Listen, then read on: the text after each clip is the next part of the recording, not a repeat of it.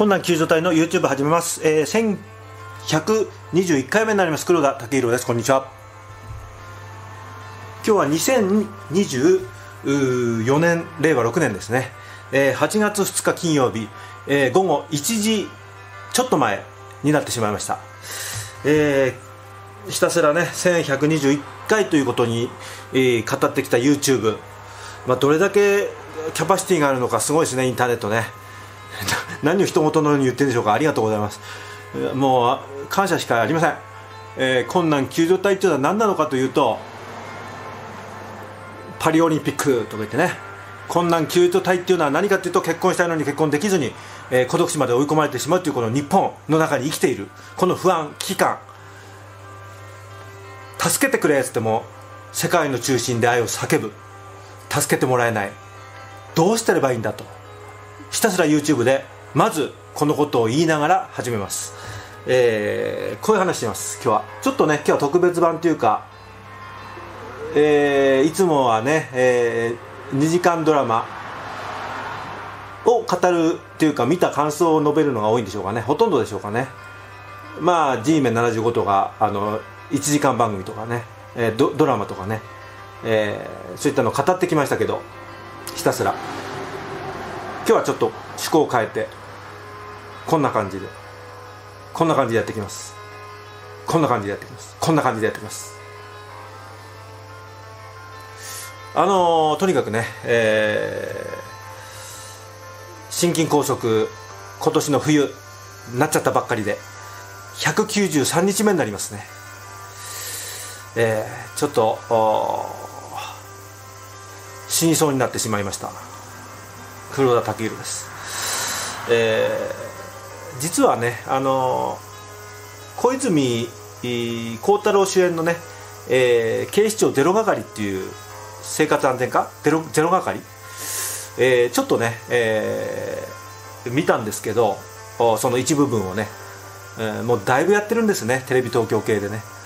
それの一部を見たんですけど、まあ、あれはねなんかコメディコメディタッチの刑事ドラマなのに警察ドラマなのにうなんかかなりね、あのー、殺人シーンというか殺人のこう死因のね、えー、やられ方がえぐいというかねひどい感じの今風のコメディタッチでありながらっていうね、うん、まあそんな感じでね、えー、それはちょっとあんまり今までもこれだけ言ったらそれをタイトルにしちゃったんですけどまあ今日はねまあ特別版というかねまあ私の記憶違いもあるのかもしれませんが、まあ、ここに書いてあった通りね、えー、私が肉眼で見た有名人というようなねなんて表現したらいいか分かんなかったんですけど私はね1967年、えー、昭和42年の生まれ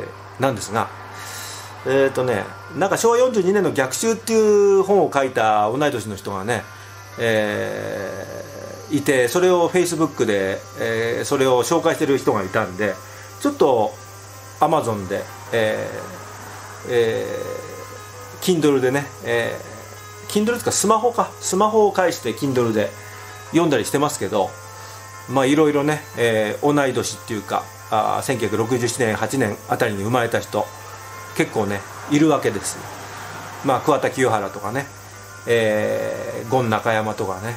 あのー、え、あと誰だっけな。あ清水東高校。えー、っとねベルディのね、えー、なんだっけな。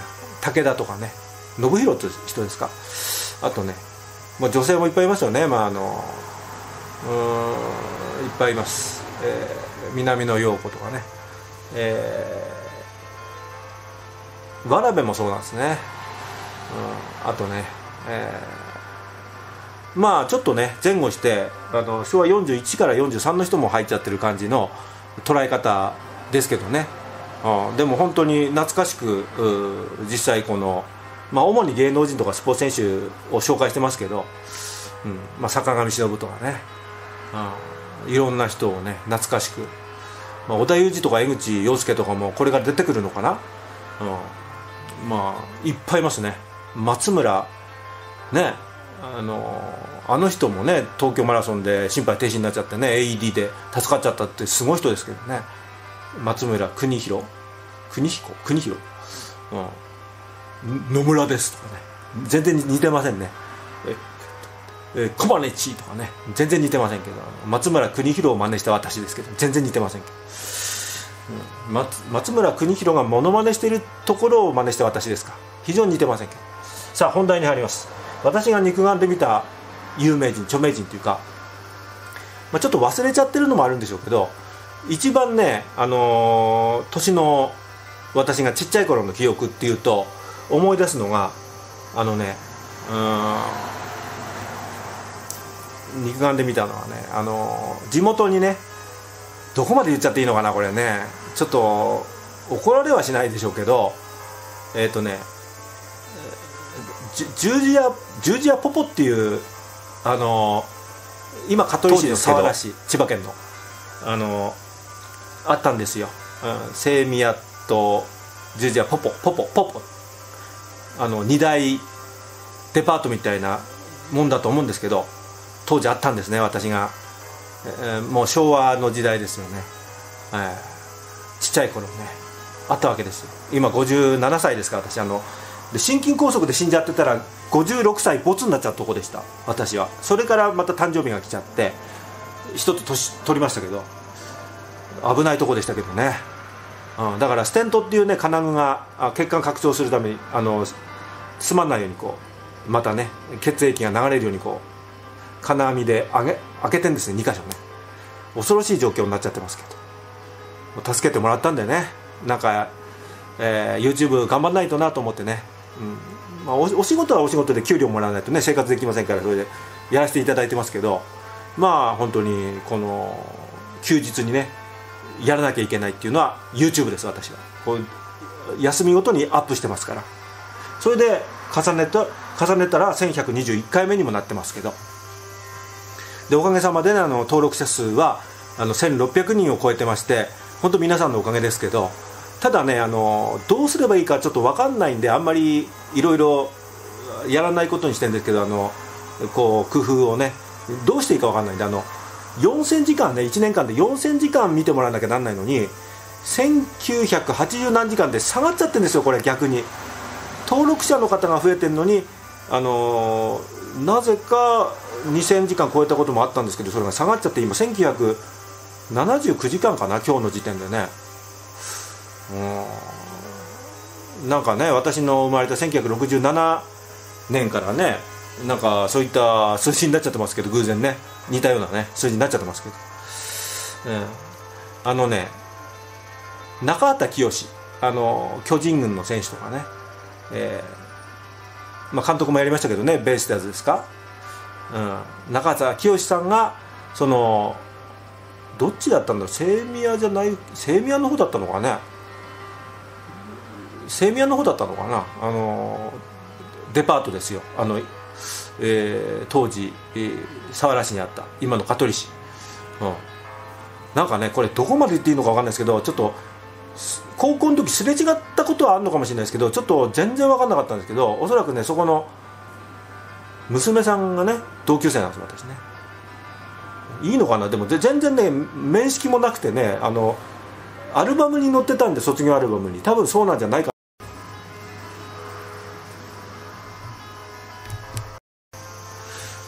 あのー、カード書き込み不足ってことで、あの、止まっちゃったんですよ、あの、カメラが。だから何何がこの頃頻繁に頻繁でもないんですけど起きてるんですけどたまにねカード書き込み不足であの撮影をやめましたって出ちゃうんで止まっちゃったんですね。だからちょっと1回カットして編集でつなげますけどだどこから話していいのかあのとにかく、えー、千葉県の佐原市です。旧ね。昔のね。あの今の香取市にセミヤってとこがあってそっちだったと思うんですよパポポポだったのかな。十字屋ポポ。なんか2大デパートみたいな印象なんですけど私にとっては。多分そうなんだと思いますけどでちょっと親に連れてってもらったりね。あのその時親戚と行ってたんですね。なんかねそこのあのセミヤの方だったと思うんですけどその娘さんが多分私と同級生なんですね。うん。多分ね、うん。で私が今あの清宮のファンですから。清宮っていうのは清の見る屋敷の矢みたいにやってたんですけどあのその同級生だと思う娘さんがやっぱ清宮でしたから清宮って名前で、うん、だからだから千葉県あたりだと清宮さんっていうのかね。で私はでもあの日本ハムファイターズの清宮幸太郎推しですから。ね。なんか順番近況日ハムとこんがらがっちゃいますけど全部一色単しちゃいますけど4号ホームランも綺麗だったですね美しかったですねなんであんな美しい、ね、芸術的なホームランを打つのか。なんかほとんど綺麗なホームランに見えますもんね清宮幸太郎はね。でお父さんのね清宮克行さんがねラグビーの有名な人だそうですけど同い年っつうのもね悲しい複雑なこの結婚難問題高齢者孤独死問題をやってる私としては複雑なんですけどねお母さんはね慶応大学のゴルフ部のなんかコーチみたいな人ですか？顧問？なんかね早慶のエリート家系ですけどね。とにかく清宮。でねあの早稲田実業ですからそうあの早稲田系の清宮幸太郎から始まってホームランから始まって慶応大学の郡司裕也千葉県出身ですね。郡司郡司のねあのこっちかホームランでね、えー、右郡司は右だからこうね。サヨナラで勝つというね終わり方。ただ間髪入れずにね移動して今日はねソフトバンクとね3連戦ですね。6連戦ですだからね、うん、オリックスにはねあの3連戦オリックスの3連戦むちゃくちゃでしたね。あのあの残念ながらねあの池池田投手がねちょっと同点されちゃってからね5時間近くなっちゃいましたもんね。で3対3でしたっけ？4対433とんでもない長い試合になっちゃってね。あでもその次2試合目3試合目とはね勝ちましたね、うん、まあ2試合目は結構ねドーンといったんですけどね。昨日は本当接戦でねなっちゃってる、ね、あでも清宮はねもう幸太郎はねもう最初どうなるかとね1割切っちゃって本当打てなくて低迷しちゃってて2軍にあの戻ったりまた来たりってやってながらあの今年の私の誕生日あたりにまた復帰したのかな？一軍ね。違うかな？どどっちか分かんないですよね。下がったか復帰したか分かんない。でもなんだかんだねそっからねなんか打率7割近くなっちゃってね。もう2安打続けてますよね。バーンといっちゃってね、うん、で今9試合くらい連続ヒット中ですか？7か8か。ねなんか同じ早稲田系列のね先輩石井和和下だね石石井和下だと西武の昔のピッチャーになっちゃいます？石井和あの栃木のね米の石井ですね。おばあちゃん見てますか？あの石井選手がね。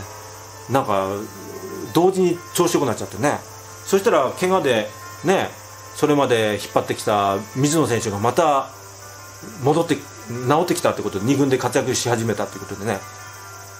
だから今年の日本ハムはねもう本当にあのチーム内ライバルがね必ずいるっていうこうすごい嬉しい悲鳴になっちゃってねなっちゃってますけどね。ねなんかね本当に急成長してある人とねあの力が戻ってきた人とね合わさっちゃったチームになっちゃってますけど。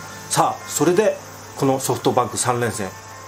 ちょっと過去のねソフトバンク戦は2回くらいねちょっとボロ負けしちゃってますけどここでちょっと切り替えれば日ハムミラクル日ハム出ますよこれ。ファイターズ。イエーイですよ。ファイターですよ。本当に。で清宮幸太郎選手もね4号ホームランを昨日打ちました。4打数2安打。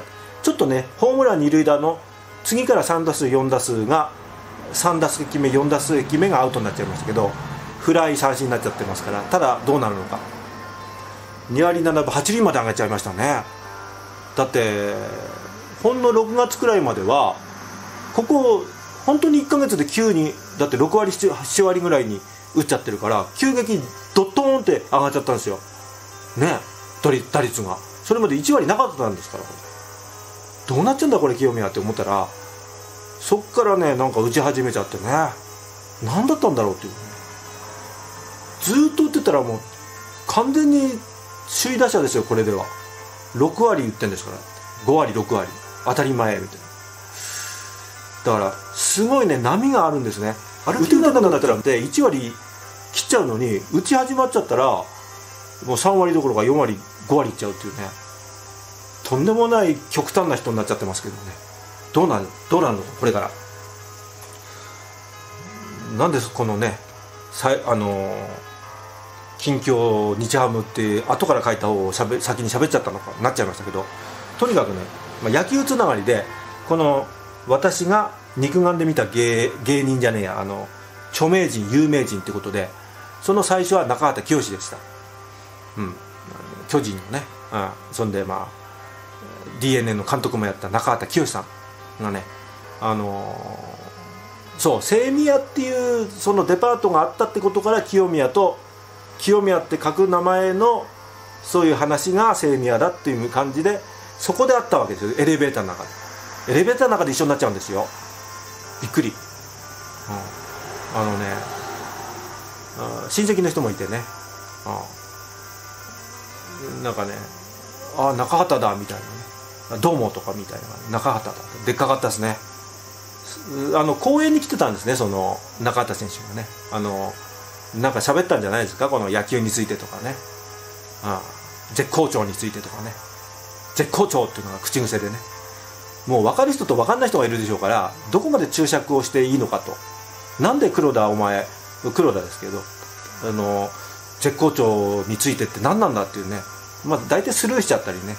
だ知ってる人と知ってない人では、まあ、昔の映画とかドラマもそうでしょうけどそうそういうかけてるのありますからねいろんなね。知ってる人には知ってるけど分かんない人には分かんないっていうのが入っちゃってる面が多いですからね。そういう物語的なものはね。で中畑選手が記憶する中で一番初めに会った肉眼で見た芸能人。しかもあの地元のデパートだったところのあのエレベーターの中で会っちゃったと。ことだと思います。でその後ねなんだろうなあともう飛ばしちゃうかともしれないし分かんないですね。なんかねあと中学とか高校とかのそういう有名人を呼ぶことがあるじゃないですか。多分ねこれも野球なんですけど野村克也監督ね、えー、あのサッチーの旦那。野村幸代の旦那。あの三冠王南海で監督もねヤクルトとか阪神とかいっぱいありましたよね。東北楽天とかね。野村克也さん。その人がね多分の学校が呼んだんでしょうね多分ね。中学か高校かね。あのー、講演聞きましたけど。でいろんな話したんでしょうけど私が覚えてるのは本当に負けず嫌いで貧乏だったから隣にねあの足の速い子がかけっこでねいたらもう勝つしかないから相手の足を踏んづけたとかこ犯罪ですよこれ。そんな話しか覚えてません。そんな野村監督がねあとね思いだんだん思い出しました。もう行き当たりばったりでやってますけど思い出しました。高校の時にねあのー、トンネルズです石橋貴明と木梨憲武。若かったですね。やっぱりね。あのまだね大御所になる前。モーニングサラダの頃ですね。西城秀樹とね伊藤司のね。モーニングサラダの頃のトンネルズだと思いますよ。だって私57歳の人が17歳16歳は高校生の時ですから40年前ですからトンネルズも若かった。まだ20代。前半とかトンネルズじゃないですか？ね。あのねこれはねあの桜市と佐原市今香取市ですけど、うん、あのごっちゃになっちゃってたりしたんじゃないですかね。であのサハラ砂漠とか言われましたねサハラだから。サハラ砂漠と言ってましたね、うん、でバスケットやってましたねなぜか分かんないですけどあの体育館で。体育館であのトンネルズのバスケットやってましたね。勝手にバスケットをやっちゃってました。でそこでそこにいたのがあの山山口先生っていうあのこう今パリオリンピックのねあの橋本大輝選手体操のね男子体操の橋本大輝選手を小学校の頃に、えー、体操を、ま、見たというあの育てたというななんかテレビよく出てますけど山岸先生ね。あの人があの体育の先生でしたから私も教わったんでしょうけどさっぱり忘れちゃってますけど、うん、他の先生も体育の先生はね 3, 3, 3学年で1人ずつだったのかね覚えてますね。あのどこまで言っちゃっていいんでしょうかね。言ってもいいでしょこれ。加藤先生秋葉先生っていう先生もいましたけどね、だからだけどその山岸先生って人も教わったんじゃないですかきっとね。そこら辺記憶むちゃくちゃなんであの記憶のいい同級生の人とかいたら正確に分かるでしょうけど私は記憶悪いし物心がついてなかったのかもしれないくらいですから下手するとね。でもでもねやっぱ体操部の顧問だったんでしょうけどその先生がねあのトンネルズ会ってんですよだから。その文化祭かなんかで、うん、でちょっとねこうトンネルズが勝手に体育館でバスケットを佐原高校のやってる時にその山岸先生がいましたよ。だからトンネルズとその橋本大輝選手ですか？を育てた山岸先生は鉢合わせしてるんですね。私が高校の時に。共演してるわけです、すごくねあのね一回喋ってるんですけど多分この YouTube でもね。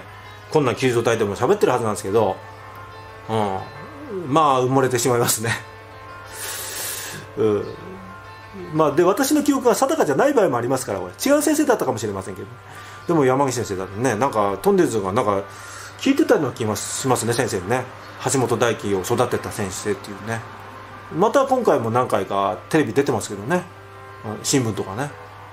うん。でそんなトンネルズだすごいですね。だから文化祭の人たちもね実行委員の人たちも佐原高校のねあの呼んだわけですからね。センスがありましたよね。そこから大御所になっていくわけですからねどんどんね。まだモーニングサラダの頃ですからね、うん、クエクエクエチョコボールですからね、うん、まあまあ大体そういうふうにあの中畑清さんはあの偶然エレベーターの中っていうすごい出会いでしたけど、まあ、それっきりですけど、うん、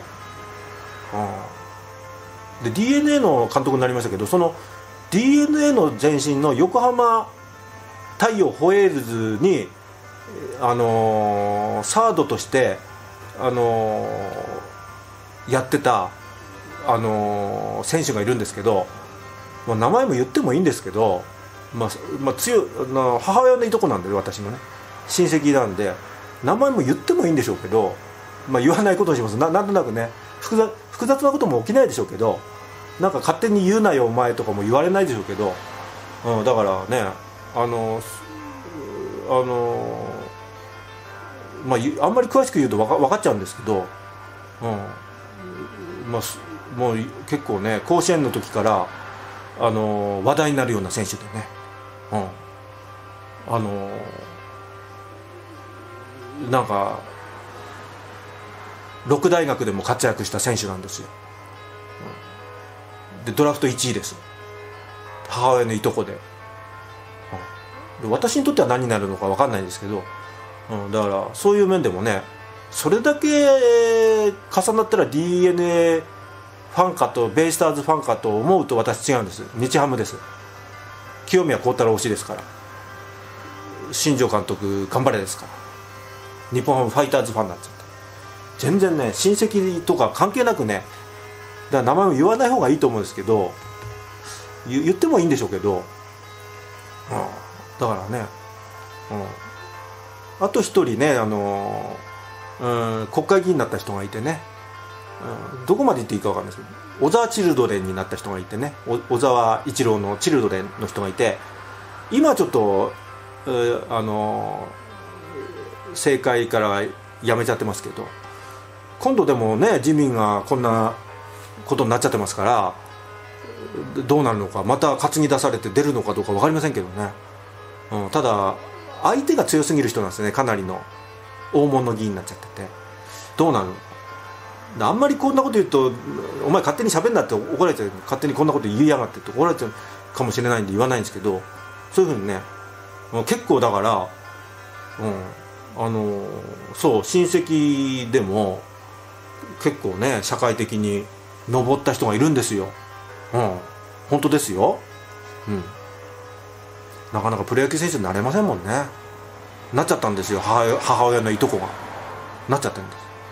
おばあさんの妹の子供ですけど、私の亡くなったおばあさんのあの、まあ、90まで行きましたけどね、うん、みんなごっつい感じでしたねそのあの一族っていうかその親戚はね、うん、そっちの方のね、うん、まああとで大学がね専修大学だったんですからあの中村徹さんがね俳優のねもう有名どころ超有名どころがねあの一番前の席にいたんで私あのど真面目人間でしたからあの一番前の方の席にいたのか一番前じゃなかったんだ。ここらが記憶が勝手なんですよね。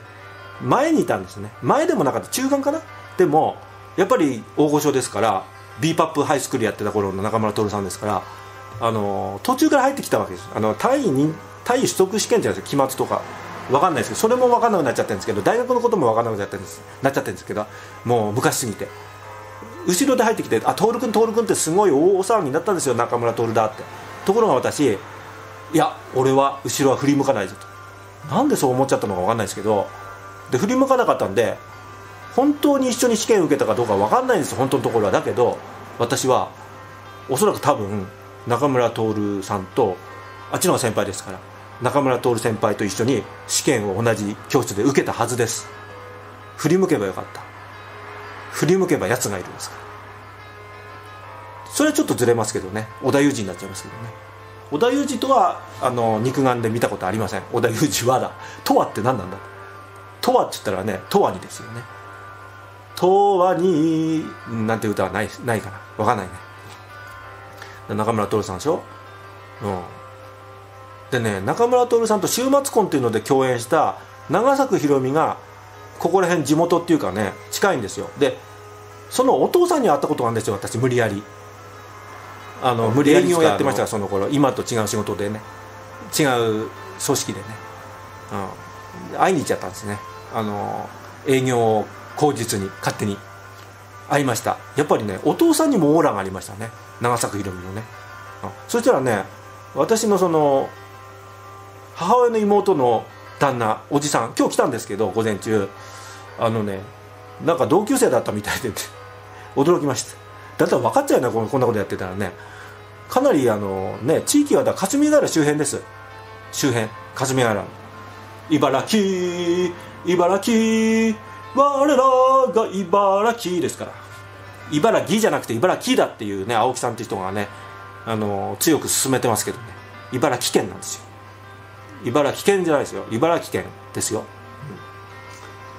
うん、まあある意味危険かもしれませんね。こんな話してるとね、まあ、あとね誰だ？あと大学のとこ時はだってなんだっけ？シャイニオンじゃなくてね違うあれは違う。なんか一曲売れた人がね小野正俊さん？同級生なんですよねきっとね。あとねあのそれこそ世界の中心で愛を叫ぶの大人の時をやった人ね。怒られちゃう。広瀬香美と離婚した人ね、うん、なんか今のなんか中国の戦闘ものみたいなので「キングダム」でなんかすごい偉い人やってる人ね。あの人も同級生なんですけどね、だ中村徹とねだからその人はねだから専修大学って2枚目ばっかり若林剛さんもそうですけどそうなんですよね。輩出してるんですよね、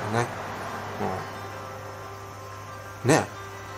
まあただねその小野正俊さん、まあ、すれ違ってはいるかもしれないですけどであのその「キングダム」の偉い人はね広瀬香美の離婚した人はね学部が違うのかな？だけどまあねまあこうすれ違ってる可能性もなきにしもあらずだけど認識はしてないです、うん、合ってないんだろうなきっとね、うん、あと、うん、まあ業界的に言うとね大学の先生なんか有名な人もいるでしょうからね業界的にはね、うん、だけど、うん、大学はね、うん、専修大学、うん、その時うん、だだから街歩ってたりするといろいろありますわね。東京もね、うん、でもそんなにそんなにちょっとねあんまりなかったかな。逆にねあの社会人になってからかな？大学うんちょっともう記憶が曖昧なんですけどあの大沢逸美がね「I'm ジェームス・ディーンみたいな女の子」じゃなくてね全然違いますけどおそらくね。違うのか違ってないのかも分かんなくなっちゃってるんですけどが営業やってましたね、うん、あとね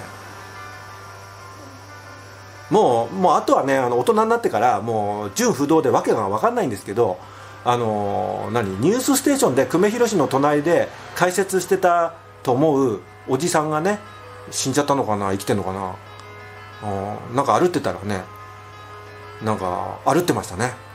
なんかいいとこにポスター貼りとかなんか政治絡みのポスター貼りとかやっちゃってたことがあるんですよ私、うん、詳しくは言いませんけど、うん、その頃はねいろいろ政治っていうかねあの反貧困のね湯浅誠さんにも肉眼で見ましたし5メートルくらいに接近しましたし5メートル以内？旗持てとか言われてね旗持ったと思いますよ。だから湯浅誠さんに言われてデモかなんかで、うん、あとねだから弁護士？あのなんだっけ？あの正義の弁護士？なんて人だっけこれじゃどうしようもないですね。情報になりませんね。あの誰だっけな。その湯浅誠さんの反貧困にこう近いような弁護士さん男のね。ちょちょっとハゲてるようなテテカテカみたいな感じの弁護士さんね。おおじさんね。おじいさん？おじさん？誰って言ったか全然分からなかったんですけど有名どころではね。その人もいましたね。反貧困集会でね。あと、うん、あと学者さんでは有名になった人もいましょうでい,、ま、いるでしょうねそのね、うんうん、そういうの出るとね、うん、あと同じ教室でやっぱベーシックインカムに近い考え方の集会の教室で田中康夫さんがねあの作家のねなんとなくクリスタルのねあと長野県知事をやったね。田中康夫さんと一緒の教室でねいましたね。だからね私は中村徹とも田中康夫さんとも同じ教室にいた人間なんですよ。これ死んじゃってたらねあの1月に急性心筋梗塞で私死んじゃってたら言い残せませんでしたからね。詳しくね。もう言っちゃってるかもしれないですけどここでね。この困難救助隊の YouTube で言っちゃってるかもしれないですけど、うん、でもこれ今回ちょっと珍しくまとめて言ってますから意識してね。あと誰だろうな。あとあと相乗り？あんまり私そういうネットフリックスのあのバチェラーとか大嫌いなんですけど相乗りとかああいう番組。うん、大嫌いなんですけどでもそれのあの歌を歌った「タラタタタタタラタタタタタラタタタラタタタタタ」って歌った「小梅太夫かよ」って言われてますけどね。言われませんけどね。色が白くないですから大体そもそも私。本当は色白なんですけどちょっと日に焼けちゃったんですよね、うん、あの小梅太夫じゃなくてあのあいみょんじゃなくてねなんて言いましたっけ？相乗りの歌ったえー、なんだっけな？アイアイウィッシュのボーカル、うん、あのあの人がなんか歩ってたような気がしますね。同じようなねなんかポスター貼りとかね金持ちのいいところのねとこにポスター貼ろうとして歩ってたらねまあ怒られちゃいますからね逆にね、えー、そんなポスターなんかやたら貼っちゃうとね、うん、ポスター貼りみたいな。危ないです。これ逆にあの公職選挙で私捕まっちゃいますか？こんな話してたら。思わず。もう時効でしょうけどこれ。ああまだもう純不動ですけどあの小泉あの孝太郎の話から始まったのに小泉純一郎さんにも会ったことあって握手を2回くらいしました。小泉さんに。あの細川守弘さんのダブル総理原発反対都知事選挙の時にあの応援に行きました私。追っかけで。それで一番最初に陣取って「小泉さんあなたは間違ってないよ!」ってか言ってね「こう小泉さん頑張れ!」って言ってあの握手2回ぐらいしましたね「小泉かぶっ壊せ自民党ぶっ壊せ!」そのね月月じゃねえよ。脱原発。あのダブル首相。ね負けちゃいましたけどね。都民はバカですね。脱原発小泉さん細川守弘さんを勝たせろよっていまだに思いますけどそれで合ってますけどね、うん、細川さんとも握手してると思いますけどまあ小泉さん純一郎です。なぜ森とか安倍とか仲間なのか。なぜそんなのに脱原発なのか。誰のものまねでしょうこれ。分かりませんけど。あとねもう純不動になっちゃうんです。あとねあの名古屋にいたことあるんですよ私最初の会社で。たった10ヶ月で泣く泣く帰りましたけど訳あってね訳もなかったんですけど挫折したですね。あのね挫折です。最初の会社がね名古屋に全国にある会社で死者がね死者って言ったって死人じゃないですよ、うん、支える社ですよ。社ですよ。支える社があってね。名古屋ザ・ブームですね。ブーム。息子が結婚しろよ事実婚じゃなくてっていうやつですね、うん、そのあのブーム。島唄島唄よ風に乗り。島唄数数なんとかですね。なんだ全然み宮沢和。合ってますね。名古屋でね。あの広場公園で歌ってました。ライブやってました。ライブっていうのかな。営業をしてました。あの頃に肉眼で見たのは確かなんでこんなこと言ったら他の人そそういう人ばっかりになっちゃうでしょうけどあのあの若隆が十両の時に一番この遠いとこで見ましたけどその時にトイレでエナ桜が隣にいました。あと省略ちょっといろいろエピソードあるんですけどちょっと言っちゃまずいと思うんでエナ桜って書いてあるんですよだって。着てる服が。ね。和服なんていうんですか？浴衣？エナ桜って書いてる力士が隣で立ちションしました私。今元気ですかね？亡くなっ元気でしょうかね？エナ桜さんね、うん、地元ですだからね、うん、地元でしょ？岐阜でしょ？エナエナね。確かね。また間違ったこと言っちゃったらごめんなさいね、うん、あと誰だ？あとねかなりね接近しますけどあの萩本欽一さん大御所。大御所中の大御所と差しで喋ったことあります私。サインも書いてもらいました。なんでかっていうと茨城ゴールデンゴールズが来ちゃったんですね。ここら辺にね。危なすぎますから危なくはないけどだ事実ですからしょうがないしね。霞ヶ浦の周り。それの関係でちょっと広告関係やってたんであの取材したんですよね。あ取材っていうか取材の人はいるんですけど私はどっちかっていうとその広告取りの方だったんですけどそれでも行っちゃったんですね。そしたら金ちゃんがねで当時の砦じゃないな上層学院かのピッチャーだった人どうだい今日のこのピッチャーの調子はとか言われてで私適当にいいんじゃないですかみたいに言っちゃうんじゃない言ってないから何言ったか一言一言ですけど交わしましたね。萩本欽一さんとね、うん、でで当時のそのフリーペーパーあの勤務先のフリーペーパー営業取りあの広告取りやってたところで。でで私本当挫折して悪い人間なんですけど農家に生まれて農業もやらずに YouTuber やってるんですけどあの黒田農業やれって書いてくれって頼んだら書いてくれたんですけどやってませんごめんなさい。嘘つきです。だから私は萩本欽一さんに嘘を頼んだ男ということになります。はい。決して見え張るではありません。見え張るさんもね大変ですよねちょっと重病になっちゃって食あの咽頭がんか食道がんちょっと喉やられちゃったんですけどでも放射線治療とかでね頑張ってますよね。あの三重春さんはとちょっと年上なんですよ私よりね。多分確かね、うん、わらべのねだからわらべは同い年くらいですけど、うん、のぞみかなえたまえでね。のぞみがちょっとね反発しちゃってごめんですけどね。積み木崩れたになっちゃいますよね。積み木崩しのね高部ですね。倉沢ですね。で3人目が玉江ですね、うん、あとねまだいるんですよ、うん、誰だろうな。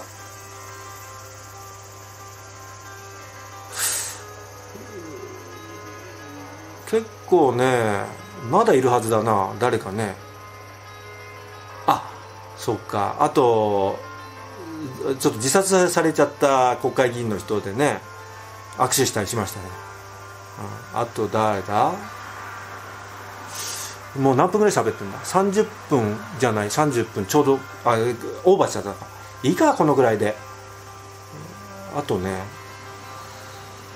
も忘れちゃってんですねきっとね。合ってるはずだよなまだ、うん、